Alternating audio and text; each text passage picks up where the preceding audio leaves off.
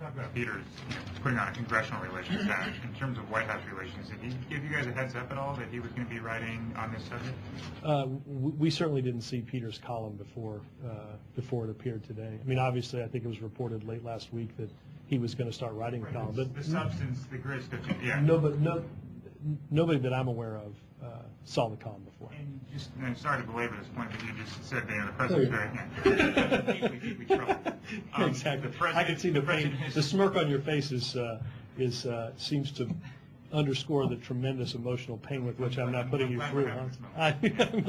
I- I'm glad we can do this together. You want us to rate? Extending, extending, you just were very clear, the president does not believe extending, um, tax, it's not affordable to extend tax cuts for the, the- but I believe Orszag's point was it's not affordable to extend them for the middle class. That's his point. point, and if we could get your comments on that.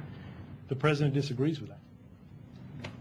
You talk yeah, It didn't seem very pained at all. That was, The president disagrees with his former OMB director that extending the middle class tax cuts are not something that we can afford. yes,